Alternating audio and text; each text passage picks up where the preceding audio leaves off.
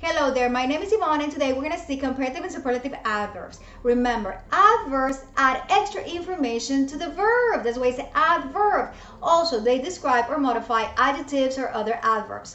Usually, an adverb is formed by adding ly, la terminación mente en español, to the adjective. For example, careful, carefully, slow, slowly, quick, quickly.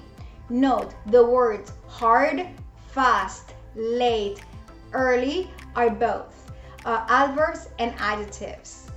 Now let's see some rules.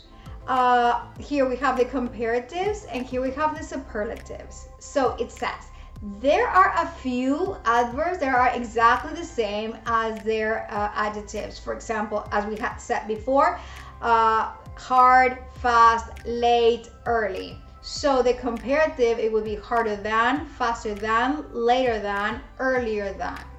The superlative is going to be the hardest, the fastest, the latest, the earliest. Very good. Now, let's see. Most adjectives change into adverbs by adding ly. So how are we going to make the comparative? So let's see. We're going to write more adjective ly than. So let's see. The adjective slow, adverb slowly, okay? And then the comparative is more slowly than, más lentamente que. Careful, adjective. Carefully is going to be the adverb, remember with double L, and the comparative is going to be more carefully than.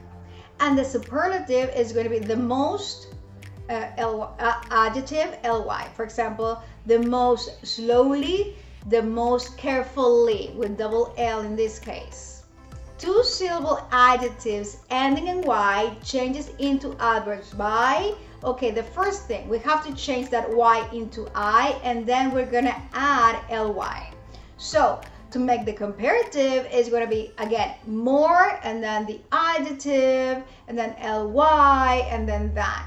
So it's to be heavy with that's the adjective, the adverb will be heavily and then the comparative of the adverb is going to be more heavily than. And then for the superlative is the same logic. We're going to change the y to i and then the most and then ly. So the most heavily. And then irregular. So good is the adjective. However, well is the adverb. And then the thing, the funny thing here is the comparative is going to be better than like the one in the adjective. And then the superlative is the best. And then we have here bad as an adjective.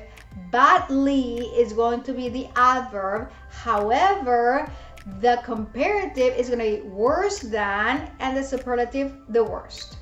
So here are some highlights of how we can make comparative and superlative adverbs. So I hope that you have learned a little bit about that and see you on the next video. Bye-bye, take care.